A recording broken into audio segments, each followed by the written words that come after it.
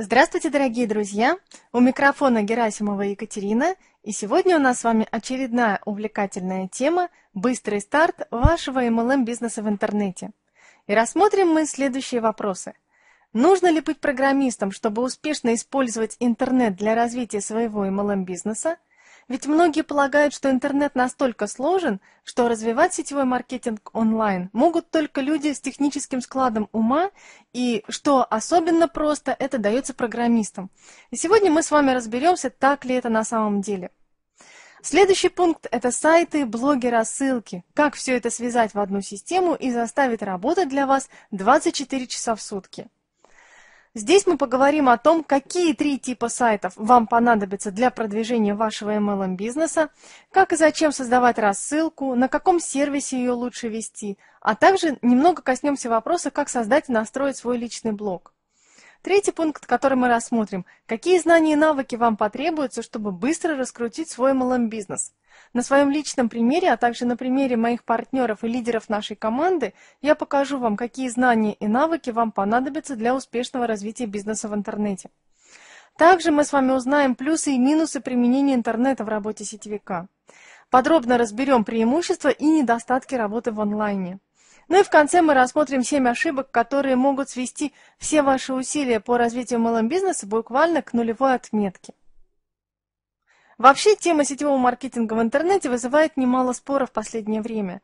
Но я думаю, что те, кто сегодня слушает наш вебинар, уже не задаются вопросом, возможно ли построение MLM-бизнеса через интернет или нет. Помните, как в карнавальной ночи лектор говорил со сцены – есть ли жизнь на Марсе и нет ли жизни на Марсе, науке это неизвестно. В нашем же случае мы с вами будем опираться не на научные теории и догадки, а на практику.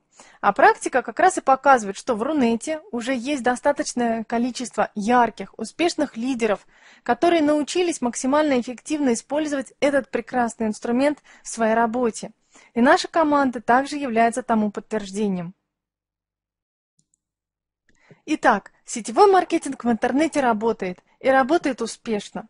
Правда, здесь есть одно «но». Он работает у тех, кто понимает и правильно применяет его основные принципы. То есть важно знать, как правильно развивать MLM при помощи этого суперинструмента. Ведь по сути сетевой маркетинг в интернете – это симбиоз двух мощнейших систем – MLM и интернета. И в каждой из этих систем есть свои правила и свои принципы.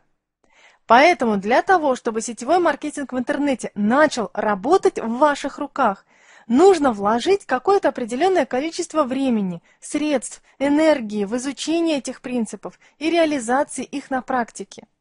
Как и в любом другом бизнесе, здесь нужно сначала инвестировать, а потом уже можно рассчитывать на получение прибыли. Насколько быстро можно развить свой MLM-бизнес в интернете?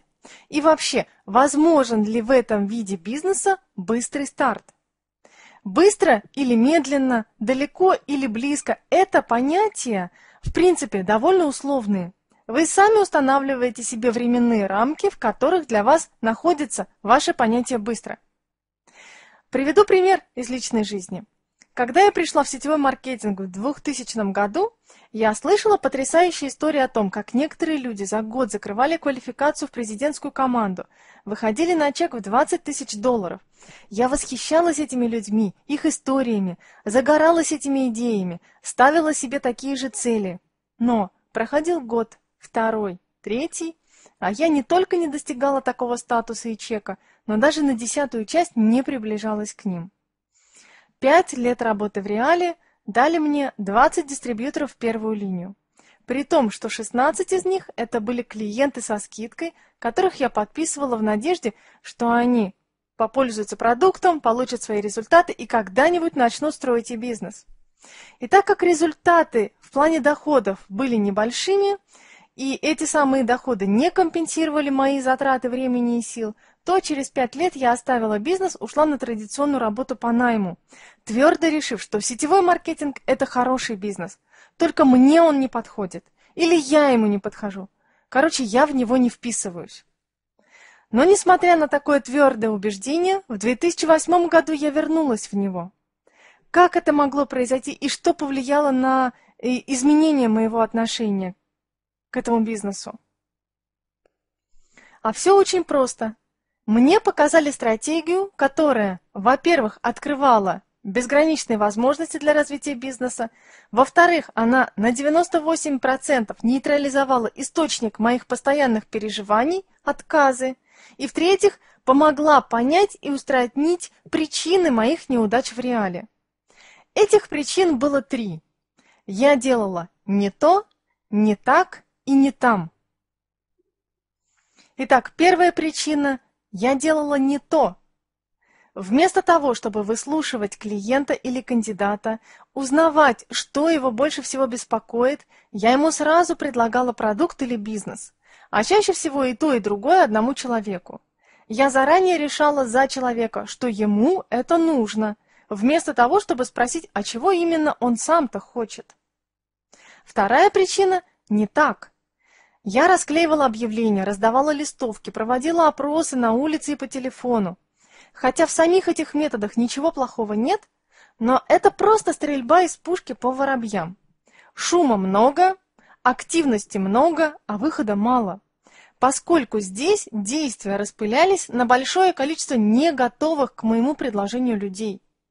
В результате 80% моего времени занимал поиск кандидатов в бизнес, вместо того, чтобы большее количество времени посвящать обучению моей команды. И так как на обучение дистрибьюторов уже не оставалось времени, то и команды у меня практически и не было. То, чему мы перестаем уделять внимание, постепенно исчезает из нашей жизни. А ведь вы знаете, что наш бизнес – это прежде всего бизнес командный.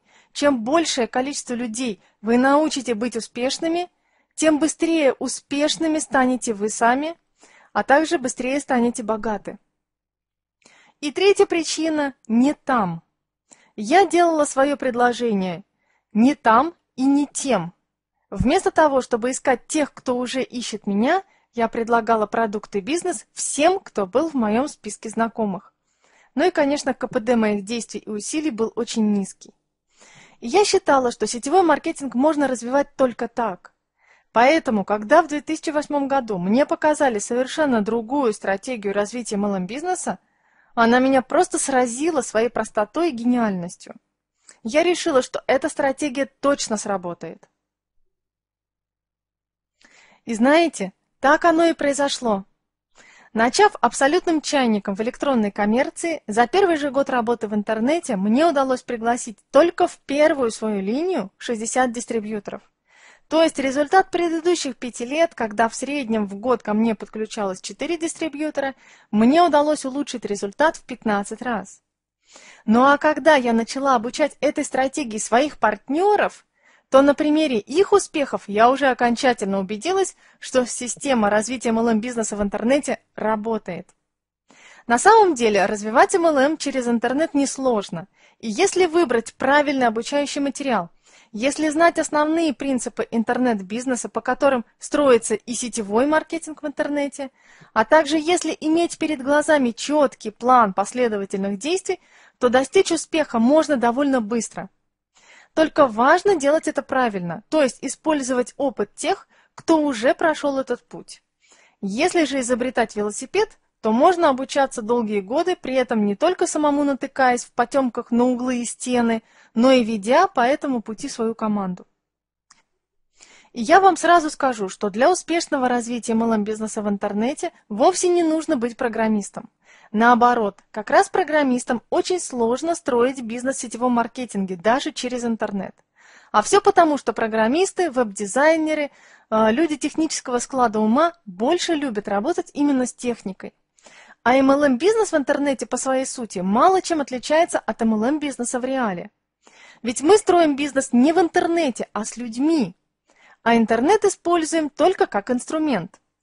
Поэтому для успеха в MLM, в том числе в онлайне, важно не то, как здорово вы умеете оформлять сайты и блоги, а то, как здорово вы умеете общаться и налаживать контакты с людьми. Поэтому, возвращаясь к вопросу о быстром старте – Любой бизнес, традиционный или сетевой, офлайн или онлайн, в любом случае требует времени на развитие и на налаживание связей с клиентами и партнерами. Нужно время для того, чтобы о вас узнали, и нужно время, чтобы вам начали доверять и хотели иметь с вами дело. Деньги в любом бизнесе приносит продвижение товаров или услуг. И чтобы это продвижение ускорить, нужно, чтобы ваши товары или услуги были востребованными, то есть чтобы на них был спрос и чтобы о них знало как можно большее количество людей. То есть фактически деньги приносят ценность и известность. Но так как мы продвигаем продукты компаний, у которых сотни, тысячи и даже иногда миллионы дистрибьюторов, то нам важно чем-то отличаться от других дистрибьюторов. Подумайте, почему клиенты и ваши будущие партнеры должны выбрать именно вас? Что в вас есть такого особенного и ценного, что вы можете предложить э, такого, чего не могут предложить другие? На самом деле каждый человек уникален, и у каждого есть свои таланты и способности. Просто нужно их развивать. То, на чем вам действительно нужно сосредоточиться, это повышение уровня ваших знаний в той области вашего бизнеса, где на них есть спрос. И затем донести информацию о ваших знаниях до как можно большего количества людей. И желательно сделать этот процесс автоматизированным. И именно такую стратегию развития малым бизнеса в интернете начали практиковать сначала западные сетевики, а затем за ними последовали и наши. А, в общем, эта концепция выглядит так. Ваш личный бренд. Ваш личный бренд – это ваша популярность и ваша ценность. Как стать ценным? Нужно повышать свой уровень знаний. Например, вы изучили новый метод продвижения бизнеса или новую эффективную систему обучения дистрибьюторов. Но только одного э, изучения этого метода или этой системы недостаточно. Пока вы теоретик, ваша ценность невелика. Ценность ваша растет только тогда, когда вы примените полученные знания на практике, получите свой результат и уже этим результатом, а также тем, как вы к нему пришли, вы поделитесь с другими людьми. Изучили, применили на практике, получили результат, рассказали о своем результате, поделились опытом его достижения, снова обучаетесь, применяете на практике, получаете результат, делитесь опытом. Если ваша ценность для рынка высока, ваша известность будет расти как снежный ком, поскольку люди очень любят рекомендовать то, что им помогло. Они сами будут к вам приходить, да еще и друзей будут приводить. Целевая аудитория. Вам обязательно нужно знать, кто ваша целевая аудитория, на кого рассчитаны ваши товары и услуги, кого вы хотите видеть в качестве своих клиентов или партнеров по бизнесу. И, конечно, нужно точно знать, где сконцентрирован максимальный процент этой вашей целевой аудитории, чтобы не тратить время и не распылять усилия. Хотя вам даже не надо будет особо искать тех, кому ваша информация будет полезна. А, поскольку со временем, когда ваш бренд растет, информация о вас разлетается автоматически по интернету, и люди уже сами начинают вас находить. Любой бизнес должен возникнуть в нужное время и в нужном месте. Если вы посадите зернышко в чернозем, то получите богатый урожай. Если вы его посадите в каменистую почву, то тоже получите урожай, но для его а, получения вам уже нужно будет приложить гораздо больше усилий. Если вы будете делать свое бизнес-предложение тем, кто уже готов его воспринять, кто уже ищет что-то подобное, тогда вы фактически будете сажать ваши зернышки именно в чернозем. Ну и третий элемент концепции – это автоматизация рутинных действий. Для того, чтобы у вас было время работать со своей командой, обучать ваших дистрибьюторов, часть рутины по привлечению партнеров, по отбору кандидатов в бизнес, по поиску клиентов обязательно нужно автоматизировать. И мы сейчас с вами как раз перейдем к созданию системы работы в интернете. Только хочу заметить, что вот эта концепция, о которой я вам сейчас рассказала, ваш личный бренд, целевая аудитория, автоматизация – а, эта концепция работает также и в офлайне. Правда, в онлайне, то есть через интернет, применять ее гораздо проще и эффективнее, особенно процесс автоматизации. Интернет значительно упрощает нам и развитие бренда, и поиск целевой а, аудитории, и, конечно, автоматизацию. Итак, с концепцией мы разобрались. Теперь давайте посмотрим на основные принципы создания системы работы в интернете. И как вы думаете, Что является самым важным элементом вашего MLM-бизнеса в интернете? Блоги? Сайты? Вовсе нет. Это люди. Самый важный элемент вашего MLM-бизнеса – это люди, с которыми вы общаетесь каждый день, которые проявили интерес к вам и вашей информации, которые ищут то, что у вас есть. Вы можете общаться с каждым из них лично, позвонив в скайпе или написать сообщение в личный чат. Вы можете отправить им э, личное письмо на почту, ответить на комментарий на своем блоге или, э, наоборот, э, оставив комментарий на их блоге, а также оставлять сообщения и комментарии к их действиям в социальных сетях. Но когда количество тех, кто вас знает и с кем вы периодически общаетесь, начинает стремительно расти, их становится 100, 200, 500, 1000 людей, а, то вам уже становится сложно отвечать каждому лично. И когда у вас появляется новая порция полезной информации, ну не будете же вы отправлять ее каждому индивидуально. Конечно, личный контакт всегда будет необходим, но здесь у вас уже будут свои приоритеты. С кем общаться в личной переписке, а кому отправить автоматическое сообщение – какую информацию вы хотите передать, так сказать, лично в руки, а какую опубликуете в общем доступе. Итак, какие же информационные каналы мы будем использовать?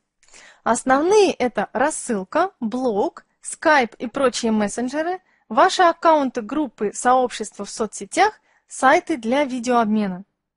Заметьте, эти информационные каналы не только дают вашим последователям и читателям полезную информацию, но и привязывают их именно к вам. Поэтому при построении MLM бизнеса в интернете мы в первую очередь продвигаем не сайт компании, а свои информационные каналы, через которые люди будут за вами наблюдать, получать от вас полезную информацию, привыкать к вам и постепенно сами будут принимать для себя решения – стать им вашим партнером или пока подождать. А, при этом вы не будете слышать отказов. На связь с вами уже будут выходить только те, кому действительно интересно ваше предложение. И чем больше информационных каналов связывают вас с вашими читателями, тем больше ваши шансы, что а, ваши читатели созреют либо до клиентов, либо до партнеров в бизнес. Если, конечно, вы четко определили свою целевую аудиторию. Поэтому вашей главной задачей является создание потока качественной информации. И затем эту информацию нужно направлять через точно настроенную и отлаженную систему, чтобы никто из тех, с кем вы общаетесь, не оставался без важной полезной информации, которая у вас есть и которой вы готовы щедростью делиться. А делиться нужно действительно щедро. Все самое лучшее и вкусное вы даете бесплатно. И первое, на чем вам нужно сосредоточиться, это создание вашей собственной рассылки, то есть серии последовательных писем, посвященных изучению или рассмотрению какого-то конкретного вопроса. Тема рассылки и ее содержание, а также длительность могут быть на ваше усмотрение. А, желательно, чтобы серия писем у вас составляла минимум 5 и максимум 12 писем последовательных. А дополнительные письма у вас могут продлевать вашу рассылку уже до месяца и даже больше. В идеале рассылка у вас должна быть не одна. Обязательно должен быть рекрутинговый курс, где вы будете рассказывать о преимуществах вашей MLM-компании, своей системе обучения, а также там вы будете давать ссылку для регистрации. Эта рассылка по возможности должна быть стандартной, для того, чтобы вы могли ее передать вашим дистрибьюторам как часть дублицируемой системы построения малым бизнеса в интернете э, в вашей команде. Вторая рассылка, которую я вам рекомендую создать, это обучающая рассылка для ваших новичков. Она тоже стандартная, и вы также впоследствии передаете ее всем своим партнерам, чтобы каждый новичок мог сам благодаря ей изучить важные моменты развития бизнеса в вашей команде и затем уже передать, то есть подключать к ней э, и своих новичков. Таким образом, процесс дубликации будет идти у вас вниз по структуре в практически в неизменном виде, что на начальном этапе является залогом успеха вашей команды. И еще одна рассылка, которая уже будет чисто вашей, авторской. Это ваш собственный курс для продвижения вашего бренда. В этом курсе вы не даете информацию о компании, а только продвигаете себя как эксперта в каком-то вопросе. Поэтому в самом начале вы работаете с рекрутинговым курсом, а пока через него к вам подключаются новые дистрибьюторы, вы набираетесь опыта в работе с ними, постепенно собираете материал уже для своего авторского курса. На самом деле рассылок у вас может быть гораздо больше, но вот эти три – это основа вашего бизнеса в интернете. А, какой же сервис лучше выбрать для ведения рассылки? Ну, тут у меня однозначная рекомендация – это Smart Responder. На сегодняшний день он вне конкуренции. Тем более, что по каждому разделу там есть видеоуроки, к тому же есть э, встроенный визуальный редактор HTML-кода. А, возможно, вам пока еще непонятно, что такое HTML-код, а, ну тогда пока не забивайте себе голову, просто знайте, что освоить работу со Smart Responder ом вам будет несложно. Затраты на аренду аккаунта обойдутся вам всего в 10 евро в месяц. При оплате за большее количество э, месяцев, например, за 3 месяца, за полгода, за год, там будут уже существенные скидки. Второй элемент системы работы в интернете – это, конечно же, сайты, но куда без них? А, какие виды сайтов нам потребуются для создания системы построения малым бизнеса в интернете? Основной – это одностраничный сайт-воронка. На этом сайте всегда дается минимум информации и максимум интриги. Ваша задача – дать информацию не на сайте как таковом, а именно в вашей рассылке. Поэтому с сайта воронки у вашего посетителя должно быть только два пути. Либо закрыть страничку, либо подписаться на вашу рассылку. То есть никаких отвлекающих моментов, никаких уводящих на другие сайты ссылок. Поэтому задача сайта воронки только в том, чтобы заинтриговать посетителя, рассказав, какой ценный материал есть в вашей рассылке, чтобы он захотел получить доступ к ней и в итоге подписался на ее получение. Внутри вашей рассылки он встречает то ссылку на ваш блог, а, то а, ссылку на ваши аккаунты в соцсетях. Ну и, конечно, в какой-то момент вы ему рассказываете, с какой компанией сотрудничаете. А, кроме того, если в вашей компании или в вашей команде уже есть четкая пошаговая и дающая результаты система обучения новичков, тогда вы можете создать отдельный одностраничный сайт, посвященный вашей системе обучения.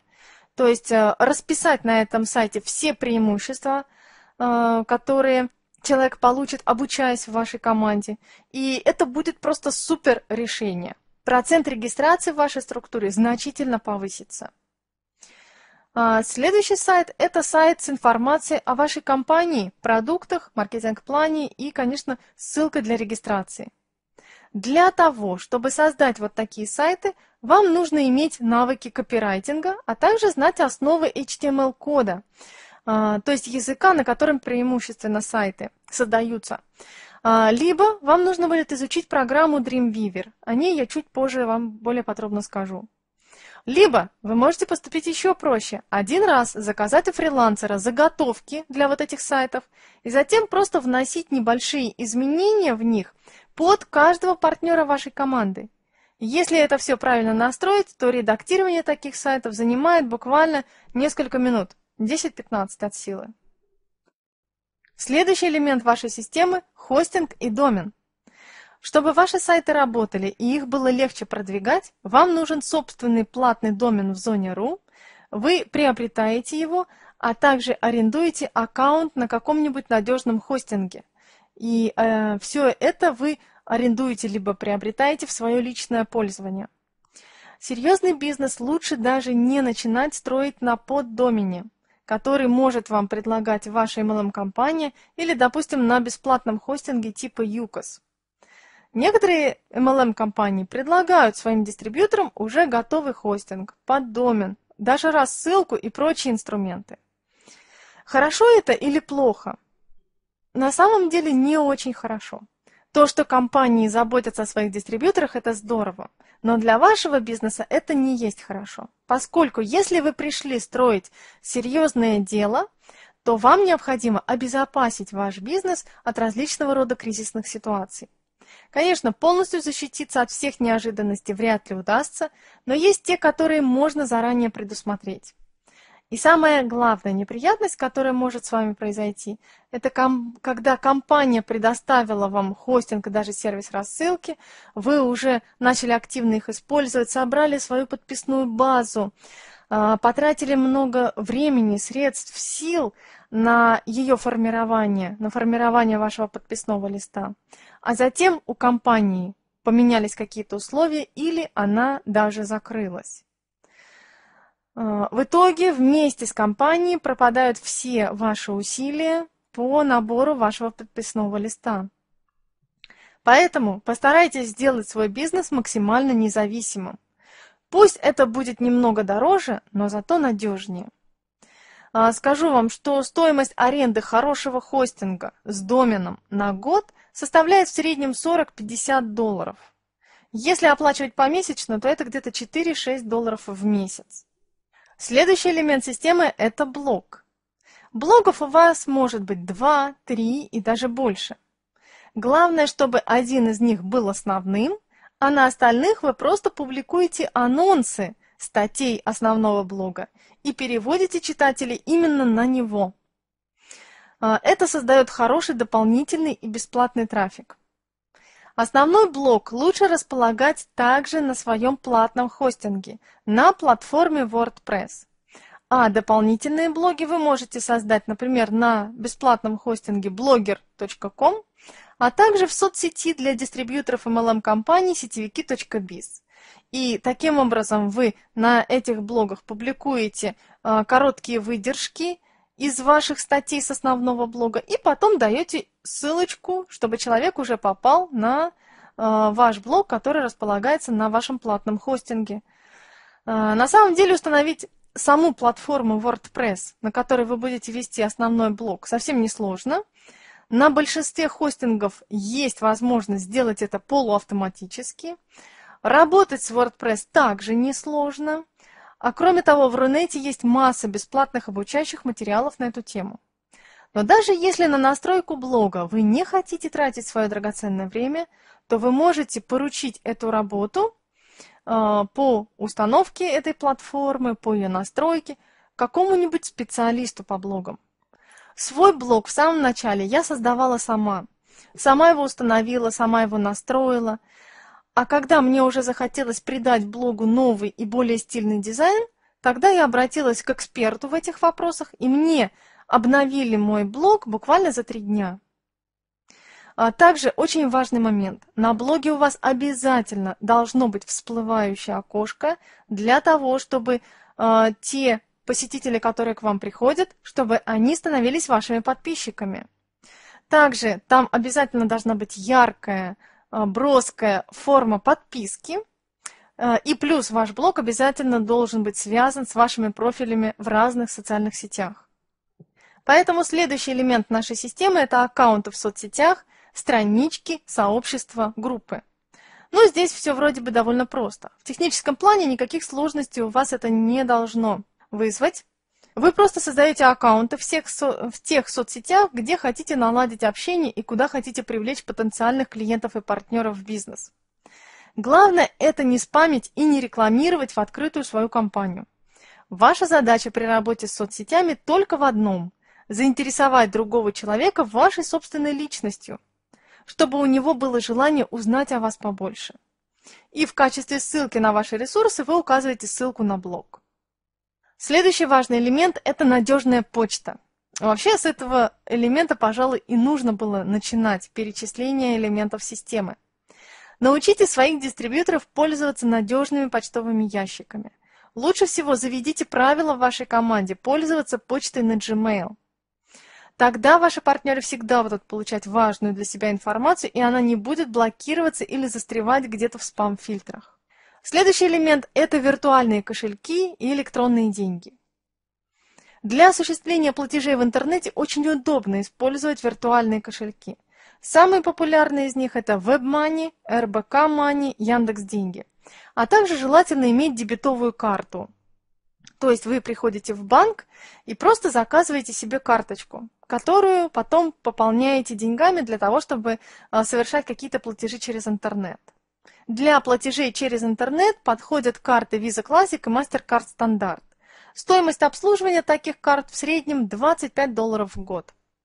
Ну и еще один, восьмой элемент э, системы для работы в интернете – это конференц-комната. Со временем вам понадобится комната для проведения презентаций, бизнес-школ, а также других онлайн-мероприятий, в том числе для обучения вашей команды. Программы сервисов для конференций сейчас в интернете очень много. Можно выбрать любую, которая вам подходит по количеству участников, а также по вашему бюджету. Вот это основные элементы системы для успешной работы в интернете. Очень важно не перегружать вашу систему инструментами для того, чтобы она оставалась простой для понимания и легко дублицируемой. Обратите внимание, что в самом начале вы даете своим дистрибьюторам готовую систему. Вы им даете сайты с их данными, рассылку, рекрутинговый курс, подключаете их к системе обучения, и они начинают осваивать работу. Для того, чтобы начать зарабатывать первые деньги, этих элементов им вполне достаточно. И если ваш новичок пришел э, в этот бизнес сначала попробовать его на зуб, то ему этого уже будет достаточно для принятия решения, оставаться в этом бизнесе, интересен ему э, бизнес в онлайне или нет. Но если ваш новичок в душе уже потенциальный лидер, то скоро ему станет тесно в этих рамках, и тогда вы уже помогаете ему создать блог, э, где он уже может делиться своими наработками, своим опытом, своими знаниями и постепенно наращивать силу и мощь своего бренда. А затем вы ему уже помогаете создать свой авторский курс. Не в плане материала, не в плане информации, а именно э, техническую сторону помогаете ему освоить. И тогда он уже переходит на новый уровень. Внимание к нему среди его читательской аудитории становится более серьезным, и в его команду начинают приходить все более активные и целеустремленные партнеры. Вы же сами понимаете, что лидер, лидерство – это работа индивидуальная. Но для того, чтобы ваши партнеры начали хоть с чего-то, вы новичкам своим передаете готовую систему с простыми элементами в ней. А, поэтому у вас обязательно должна быть стройная схема, которую понимают новички, которые могут повторить. Ну и теперь давайте разберем, какие знания и навыки вам потребуются, чтобы быстро раскрутить свой MLM-бизнес в интернете. Когда я начала развивать свой бизнес в интернет, знаний в электронной коммерции у меня был абсолютный ноль. Слова хостинг, домен, браузер у меня вызывали смутные ассоциации с бластерами и прочими атрибутами героев фантастических фильмов. Но мне повезло. Я получила в руки систему и четкие рекомендации, что нужно изучить в первую очередь. Поэтому я не искала какой-то дополнительной информации в интернете. Я просто сосредоточилась на том, что у меня уже было под рукой. А под рукой у меня были хостинг, рассыльщик, тогда, правда, это еще был скрипт MailTux, Responder я осваивать начала уже гораздо позже. А, еще у меня был диск Евгения Попова «Все технические моменты онлайн-бизнеса в видеоформате». И уже через две недели после начала изучения этого диска я прислала моему спонсору первый вариант сайта воронки. Он его, конечно, забраковал, но навык работы с HTML-кодом я освоила, и это было первой победой. Кроме HTML, по этому курсу я освоила программу Dreamweaver, для редактирования сайтов с помощью визуального редактора. То есть фактически через Dreamweaver вы редактируете сайт как будто бы в обычной программе Word. Вы можете там менять текст, добавлять картинки, и все это делается очень просто. Далее я освоила программу Camtasia для записи и редактирования видео, немного ознакомилась с Photoshop, но это уже был второстепенный навык. То, что действительно мне пригодилось в интернет-бизнесе, это навыки работы на компьютере, Желательно уметь уже работать хотя бы с программами Word и Excel. А, программа Dreamweaver, курс по HTML и Camtasia. А, кроме того, потребовалось изучить работу с виртуальными кошельками, а также копирайтинг, искусство написания привлекательных текстов и объявлений. Ну и плюс, конечно, некоторые методы рекламы, то есть методы продвижения бизнеса. Вот, в принципе, и все, что необходимо из технических навыков. Ведь самый важный навык для успеха в MLM вы и так знаете. Это навык коммуникации и построения отношений с людьми. Без этого все технические моменты будут просто бессмысленны. Ну и, конечно, не забывайте, что рядом с вами всегда будут люди, которым вы можете делегировать часть той работы, которую сами не умеете или не хотите выполнять. А вы можете сосредоточиться на тех моментах вашего бизнеса, которые являются самыми важными – которые вы не готовы отдать на аутсорсинг или просто потому, что вы сами любите это делать. Главное, чтобы в результате ваша система и ваш бизнес работали с максимальной отдачей и эффективностью. Ну и теперь давайте рассмотрим плюсы и минусы применения интернета в работе сетевика. А, давайте поговорим об MLM-бизнесе в интернете на чистоту. Да, у него есть свои отличия от бизнеса в реале, есть свои плюсы и свои минусы. Поэтому давайте начнем именно с минусов. А, первое, конечно, при работе в интернете не хватает эмоционального контакта. А, вы не видите глаз человека, но все это, конечно, решаемо. Достаточно созвониться в скайпе, подключить веб-камеру, и вы уже видите человека, человек видит вас, и вы уже устанавливаете хотя бы частичную эмоциональную связь. А, следующий минус – это много отвлекающих факторов. Общение в соцсетях, конечно, очень сильно затягивает. Зайдя на чей-то блог, чтобы почитать раздел об авторе, вы можете зависнуть там на пару часов. Достаточно подписаться на несколько вроде бы полезных рассылок, и вскоре вы уже начинаете тонуть в потоке информации. А, можно ошибочно принимать какие-то второстепенные действия за основные. Например, проверка почты совсем не приносит денег. А, кроме того, весь интернет – это холодный рынок. Вас никто не знает, вам никто не доверяет. И вам потребуется время, чтобы люди начали вам доверять. А, помимо этого, конечно, нужно будет изучить некоторые программы и приобрести новые навыки.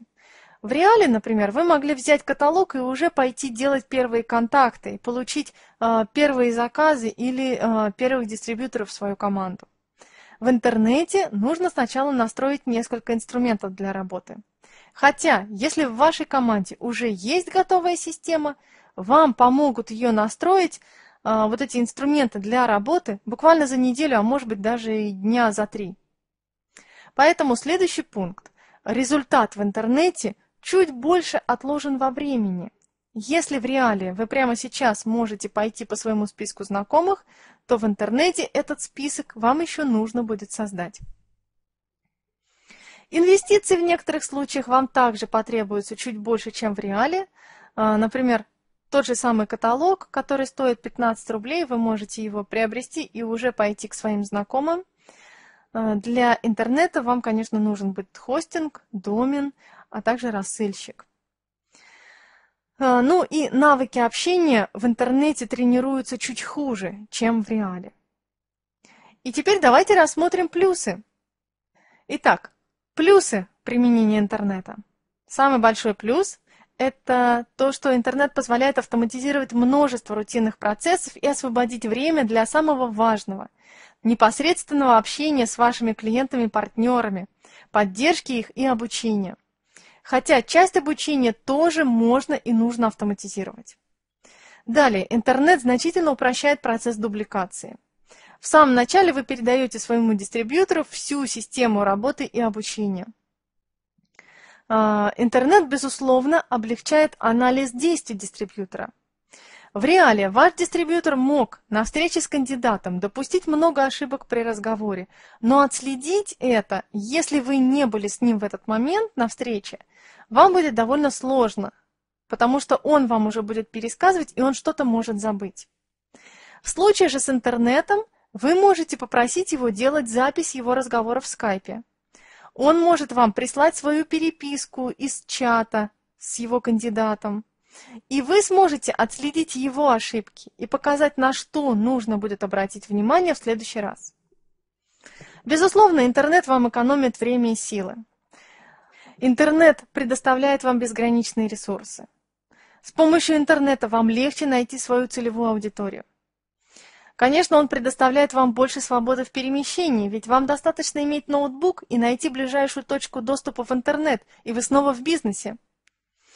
А, кроме того, интернет позволяет вам иметь дополнительные источники дохода для покрытия ваших расходов на рекламу.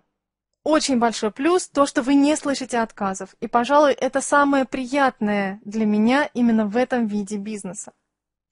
Конечно, еще очень большой плюс то, что вы даете человеку возможность ознакомиться с вашим предложением тогда, когда ему это удобно. Даже если вы в этот момент находитесь в отпуске. Ваша правильно настроенная система работает 24 часа в сутки и 365 дней в году, без выходных и праздников. И иногда в вашу команду будут подключаться новички даже без предварительного общения с вами. Вы возвращаетесь из отпуска и видите, что у вас уже появилось несколько партнеров. При том, что они сами зарегистрировались и даже сами сделали заказы и ждут не дождутся вашего возвращения для того, чтобы а, получить от вас информацию, что им теперь нужно делать дальше. Ну и теперь давайте разберем а, семь самых главных ошибок, которые могут встретиться на пути вашего развития MLM-бизнеса в интернете. Страх совершить ошибку. С самого детства мы боимся совершать ошибки. Конечно, боимся, ведь этот страх у нас живет практически на уровне инстинкта. Что происходило с нами, если мы разбивали вазу или получали в школе двойку? И дело здесь даже было не столько в том, что вы любили эту вазу, или что в дневнике появилась эта противная цифра, а в том, что именно следовало за этим. Чаще всего ничего хорошего не происходило. В лучшем случае с вами проводилась воспитательная работа, в худшем могли поругать и так далее. И в этот момент у вас постепенно формировался приобретенный инстинкт. Вы совершили ошибку и вас наказали. И далее мозг делает вывод, что вы плохой, раз вас поругали. Но самое печальное, что в эти моменты вы чувствуете, что вас не любят. Вы испытали боль, прежде всего психологическую. Поэтому прививка. Выберите себе в спонсоры человека позитивного, Пообщайтесь с ним и сразу обговорите, что вам нужна будет и психологическая поддержка, вам нужно признание. Также найдите в параллельных ветках тех, с кем вам приятно будет общаться, и начинайте их поддерживать. Ведь если у вас чего-то не хватает, значит вы сами это не даете миру. Ну и обязательно сами себя вознаграждайте за каждую победу. А на каждую ошибку просто говорите себе «Я молодец, я сделал все, что мог, и в следующий раз я сделаю лучше. Вторая ошибка – это чувство нужды или сильная привязанность к результату. Когда вы очень сильно хотите что-то продать, клиент на подсознательном уровне это чувствует и ощущает к вам неприязнь. По-настоящему у вас есть нужда только в нескольких вещах – воздухе, воде, пище, одежде, здоровье и крыше над головой. Конечно, нам еще нужны и некоторые вещи в плане чувств. Любовь, дружба, поддержка. У большинства из вас это есть. Более того, почти у всех из вас есть собственные компьютеры, скоростной интернет. У кого-то даже есть свой автомобиль. То есть базовые ваши потребности удовлетворены. Но в этот список базовых потребностей вовсе, вовсе не входит подключение к вашей команде именно этого дистрибьютора – также не входит покупка у вас продукта именно этим клиентам, как и не входит успешность запуска именно этой рекламной кампании. Почему? Потому что у вас всегда есть возможность начать заново. Вы всегда можете найти другого дистрибьютора, другого клиента, запустить другую рекламную кампанию. Бизнес – это игра, и как и в любой другой игре, вы всегда можете начать сначала. Только на самом деле – вы никогда не начинаете с полного нуля. Каждая предыдущая попытка вам дала бесценный опыт. И вы можете его использовать, чтобы теперь уже точно достичь успеха. И при том гораздо быстрее, чем те, кто делает действительно первые шаги. И как только вы уменьшите свою привязанность к результату хотя бы на пару процентов, вы сами удивитесь э, эффекту, который получите.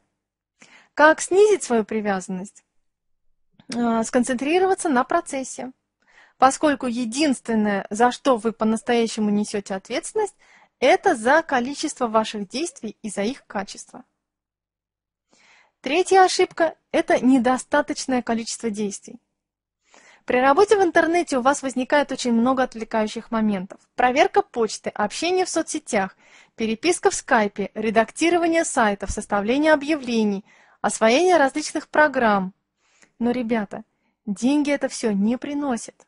А если эти действия и влияют на ваш доход, то только опосредованно. Деньги приносит только ваша активная деятельность по продвижению вашего бизнеса. Если вы с утра до ночи изучаете курсы, но не применяете эти знания на практике, редактируете сайты, но не привлекаете на них трафик, создаете в фотошопе красивые коллажи и баннеры, но не запускаете их в рекламу, составляете удачные, на ваш взгляд, рекламные объявления, но нигде их не размещаете, то диагноз в этом случае будет неутешительный. Эти действия лишь подготовительная работа. И полностью отдавая ей все свое время, но так и не приступая к активным действиям, вы просто топчетесь на месте.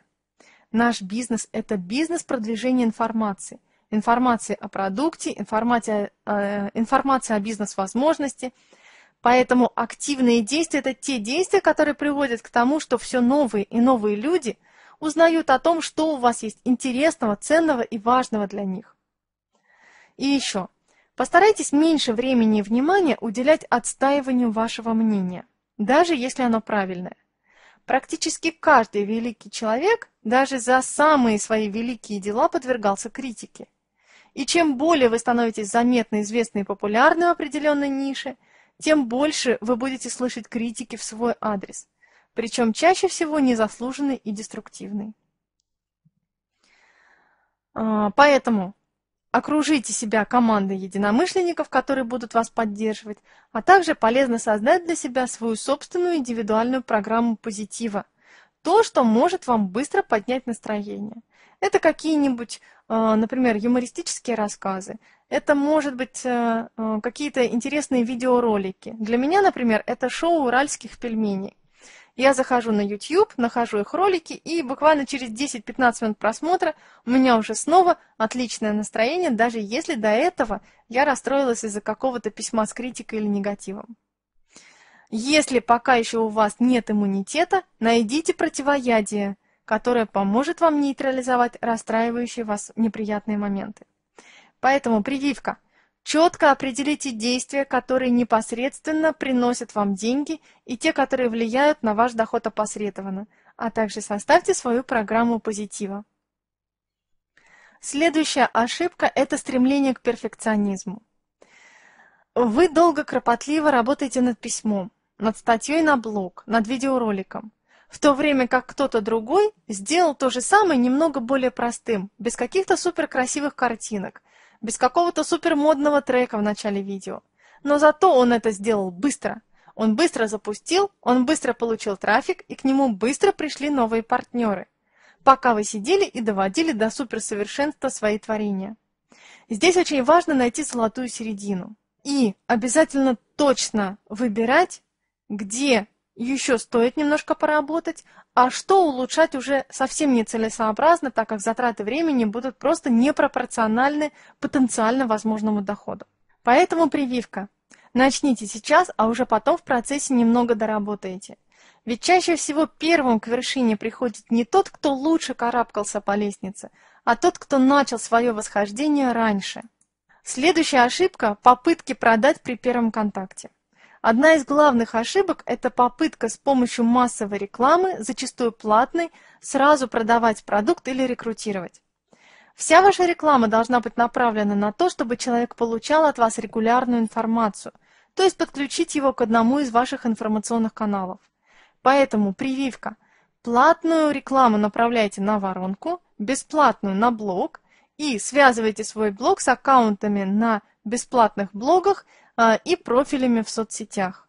Следующая ошибка – это низкий энергопотенциал. Если у вас нет сил для активного общения с вашими партнерами и клиентами, если вы засыпаете на ходу и вообще постепенно теряете интерес к вашему бизнесу, нужно срочно восстанавливать энергопотенциал. Нередко у нас возникает ощущение информационного перегруза или повышенной утомляемости. Вроде бы вы выполняете тот же самый объем работы, что и раньше, но уставать стали больше. Значит, что у вас снизился ваш энергопотенциал. В первую очередь нам его нужно восстановить, а во вторую очередь увеличить. Для восстановления вам нужно найти то, что вас радует или успокаивает. Общение с природой, медитация, а, друзья. Только Обязательно это должно быть продуктивное общение, а не посиделки за пивом или ночные тусовки до 5 утра. А, ваше общение с детьми или домашними животными. Иногда это может быть хороший фильм. А, поэтому выберите то, что действительно вас восстанавливает, то, что вас оживляет. А, ну и после того, как вы восстановили, у вас есть два способа увеличения, наращивания вашего энергопотенциала. Это умеренные физические нагрузки и творчество. А лучше все это совмещать. И буквально несколько дополнительных советов а, для того, чтобы а, вы повысили свою эффективность и для того, чтобы ваша энергия возрастала. Первое. Пейте 2 литра воды в день. В эти 2 литра не входят чай, соки, супы и прочие жидкости.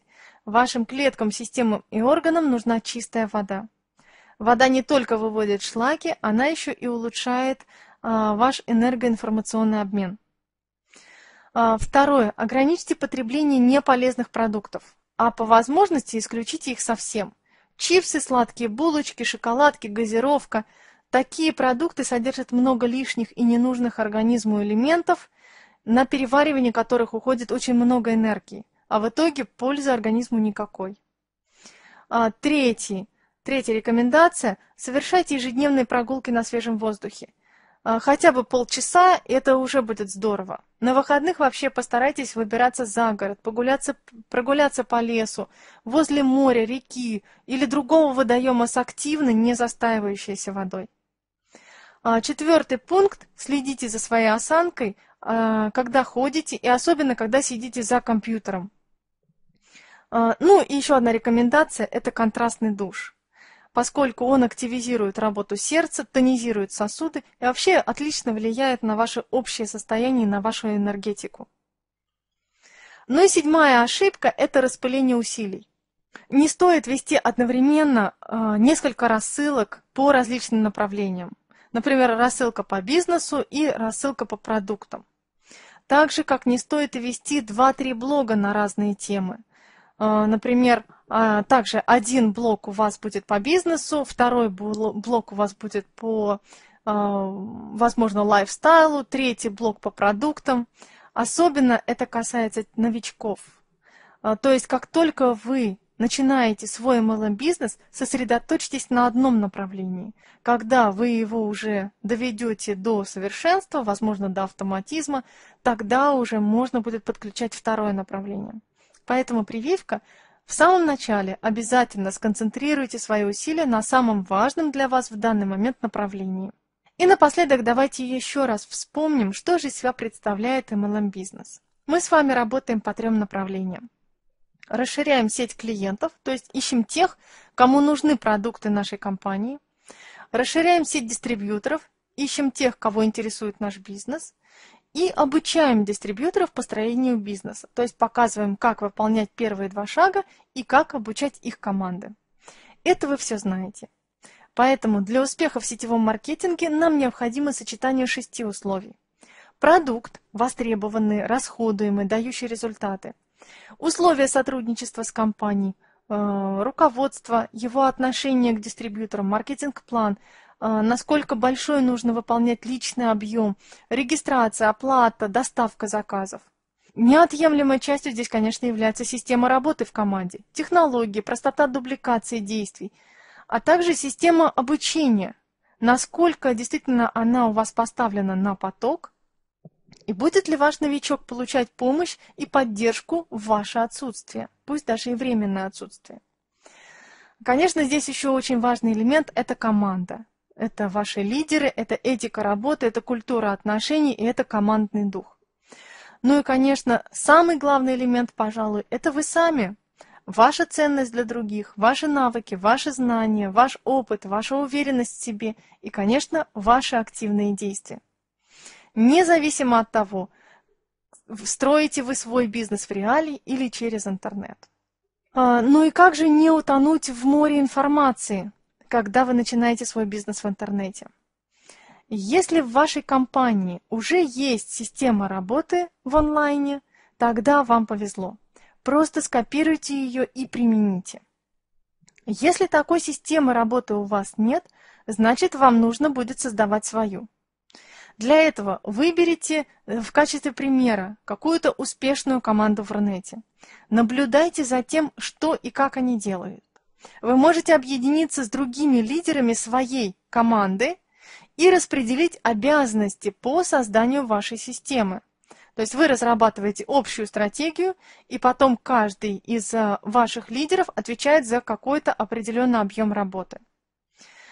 А, также вы можете распределить между вашими лидерами обязанности по изучению опыта других команд, чтобы каждый из них сконцентрировался на каком-то также определенном а, объеме знаний, которые вы хотите почерпнуть у других команд. Когда вы уже создали систему, она успешно работает, и вы видите, что появляются новинки на рынке инфопродуктов, вам, конечно же, хочется сразу их изучить и сразу их внедрить. Но это чревато перегрузом информации. Поэтому в первую очередь у вас обязательно должен быть четко прописан ваш стратегический план развития вашего MLM-бизнеса. И поэтому вы будете концентрироваться только на тех новинках, которые э, необходимы вам именно в данный момент. Старайтесь не покупать курсы, диски и тренинги на перспективу. Только то, что сейчас в данный момент для вас актуально, вот именно на этом сконцентрируйтесь. Итак, дорогие друзья, давайте подведем итог нашего сегодняшнего вебинара. Сетевой маркетинг с помощью интернета развивать можно, и делать это можно очень успешно. При этом важно помнить, что бизнес в интернете также требует времени, сил и средств. Вам нет необходимости становиться программистом, чтобы достичь в этом бизнесе успеха. Просто нужно взять готовую систему и применить ее на практике.